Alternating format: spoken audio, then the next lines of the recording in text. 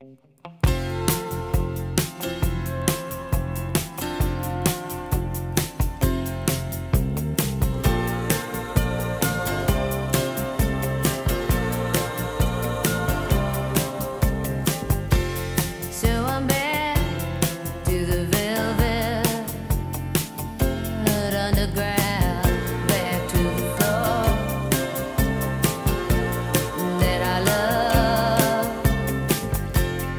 to a room with some lace and paper flowers.